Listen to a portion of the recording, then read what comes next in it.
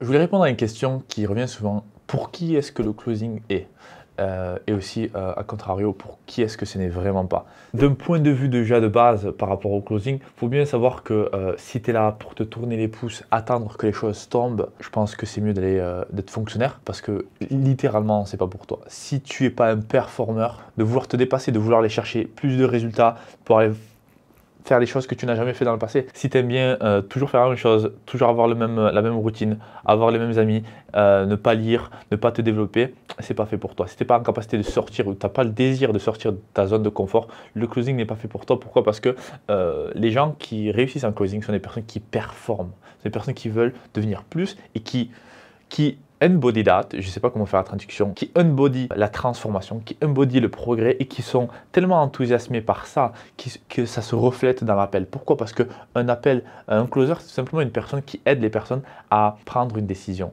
Donc pour être en capacité de prendre une décision, je ne sais pas si tu sais ce que c'est que le mot décision, mais de mémoire, décision, c'est-à-dire scission, il y, a, le mot scission, incision dedans, donc c'est-à-dire couper, couper avec le passé. Donc il y a un moment où une décision, en fait, ça, un changement, ça ne prend pas des années. Les gens pensent que ça prend des années de, changer, de prendre une décision, mais en fait, ce n'est pas le cas. Une décision, ça prend une fraction de seconde.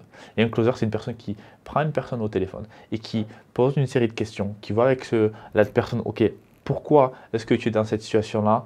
Pourquoi tu es toujours dans cette situation-là? Est-ce que tu veux mieux? Est-ce que tu veux te développer? Est-ce que tu veux changer? Oui, ok. Et grâce à une, série de questions, grâce à une atmosphère que tu crées dans l'appel, tu es en capacité, tu mets les gens dans un état où elles ont envie de passer à l'action, elles ont envie de prendre une décision.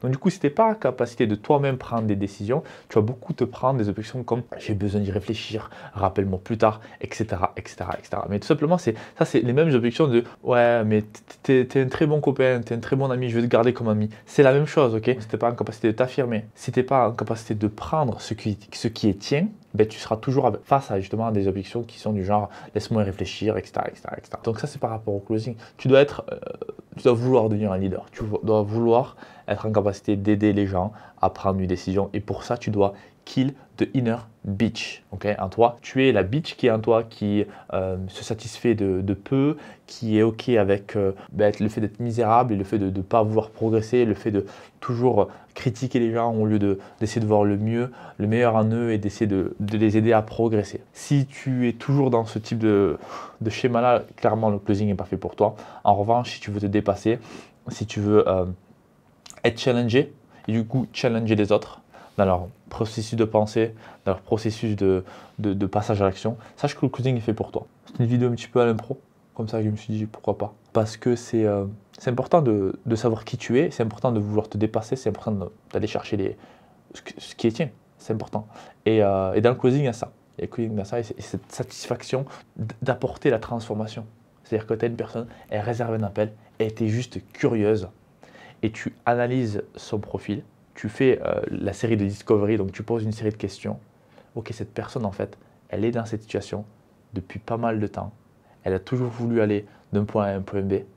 Et aujourd'hui, elle a besoin de, de l'extra kick, de l'extra effort. Et si tu es en capacité d'aligner les mots, d'aligner le script, d'aligner les étapes, d'aligner le processus dans la bonne voie, tu es en capacité d'impacter sa vie, de l'aider à prendre la meilleure décision et donc changer sa vie. Est-ce que c'est pas un truc de dingue? Est-ce que c'est pas un super pouvoir en fait? Tout simplement de, de pouvoir aider les gens à prendre la meilleure décision. Ça, c'est du closing. Donc si ça t'inspire, clique sur le bouton sous cette vidéo. Il y a une masterclass 100% gratuite où je te parle en détail du closing. Je te retrouve de l'autre côté, c'était Ismaël de Ciao